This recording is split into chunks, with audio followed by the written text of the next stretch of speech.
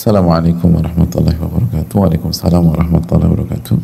Ustaz Afan izin bertanya, apa sikap yang perlu kita perhatikan sebagai seorang hamba ketika mendapatkan sebuah nasihat namun nasihat tersebut disampaikan tanpa memenuhi adab-adab yang baik.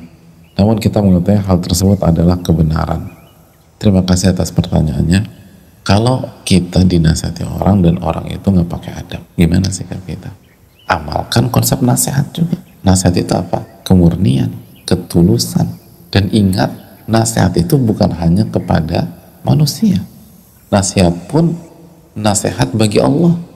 Nasihat bagi kitab Allah.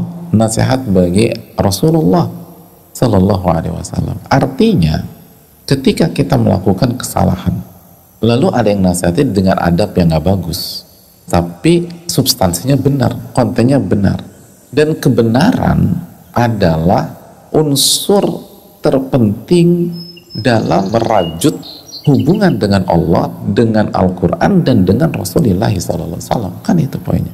Maka kita harus menerima nasihat tersebut.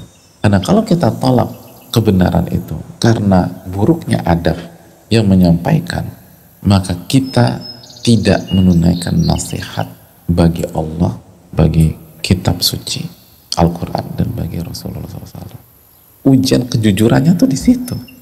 Inilah ujian yang ada di dalam hubungan sosial, interaksi horizontal. Allah berfirman dalam surat Al-Furqan ayat 20, "Waja'alna ba'dakum li ba'din fitnatan atas birun wa kana rabbuka basira." Dan kami jadikan interaksi di antara kalian fitnatan ujian. Di antaranya begini-begini. Kita diuji menomor satukan kebenaran, melalui sikap-sikap yang nggak pantas, yang nggak punya adab, yang nyinyir, yang ngejatuhin diri kita secara pribadi dan seterusnya. Kalau kita tolak nasihat atau kebenaran yang disampaikan dengan cara seperti itu, pertanyaannya, apakah kita bisa jadikan itu alasan pada hari kiamat di hadapan Allah? Kan begitu ya.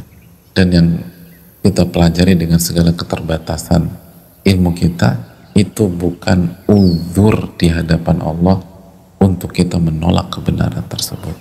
Tapi itu ujian apakah kita menomorsatukan kebenaran atau kita lebih memilih ego, harga diri, dan pribadi kita.